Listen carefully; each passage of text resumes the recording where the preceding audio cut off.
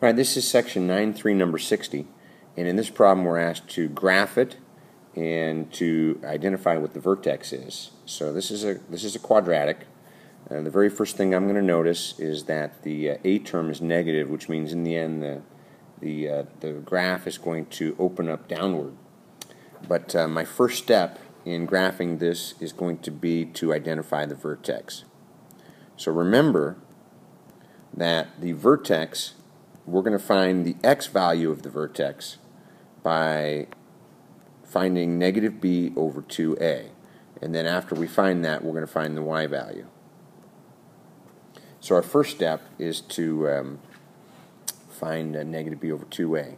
So we're going to have the opposite of b, which is negative 2, over uh, 2 times a, which is negative 3, and that's going to be a positive 2 in the numerator and a negative 6 in the denominator, which is going to simplify to negative 1 third.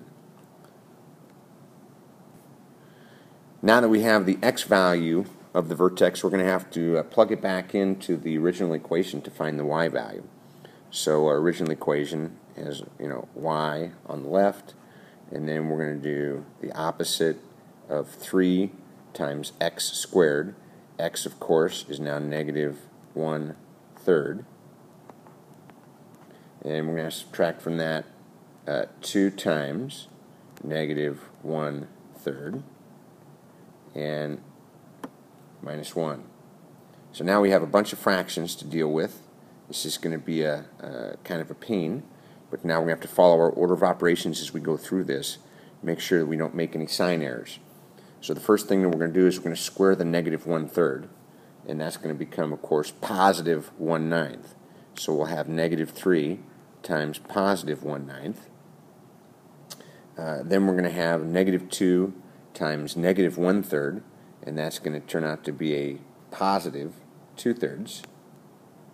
And the negative 1 just kind of sitting out there still.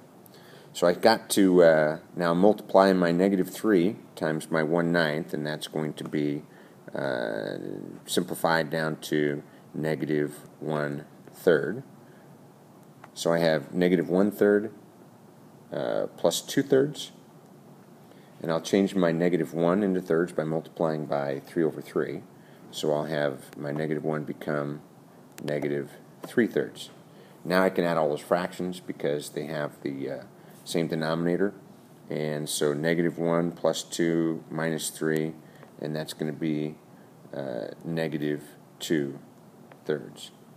So now I've got my vertex. The x value of my vertex is going to be negative 1 third, and the y value of my vertex is going to be negative 2 thirds. Now that I have that, I'm going to go ahead and get started on my graph and, and put the uh, vertex into the graph uh, and then I'll go ahead and plot some points.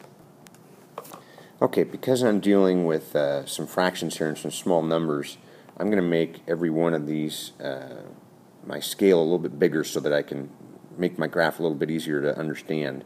So I'm going to make this a 1 and this a 2, etc. So when I go to graph my vertex, I'll go to negative one third on the x value. That's going to be, you know, part of the way towards negative 1. And then I'm going to go to negative 2 thirds in my y value. That's going to be most of the way down to negative 1 down here. And so I'm going to say that uh, it's going to be somewhere in here.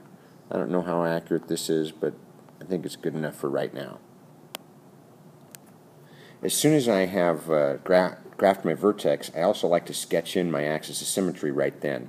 And so for our axis of symmetry, remember the axis of symmetry is going to be just the, uh, the x value. So uh, at negative one third, we've got our axis of symmetry. So I kind of like to sketch that in there. Again, it's a dotted line because the dotted line indicates that the graph uh, starts there but is not included in that negative or that, uh, that dotted line. Now I'm just going to plot some points. So I'm going to come up here and make a little t-graph. I'm going to plug some x values in, some y values in, and I'm going to go ahead and plug in uh, 0 for x. When I plug in 0 for x, I'm going to get uh, 0 uh, minus 0 minus 1, so negative 1 is my y value. And then I'm going to go ahead and graph that. So I'll go to uh, 0 on the x, negative 1 on the y, and that's about right here. And then using my symmetry, I know that I'm going to have another point that's going to be about right here. So when I plot that one point, I have a second point because of my symmetry. Next, I'm going to go ahead and use my other my next input is going to be 1 for x because it looks to me like that'll be a, little bit easier to, uh, to do the math on.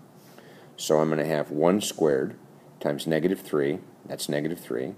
So I've got negative 3, and then I got negative 2 times 1 is negative 2, so negative 3 plus negative 2 is negative 5, minus 1 is negative 6.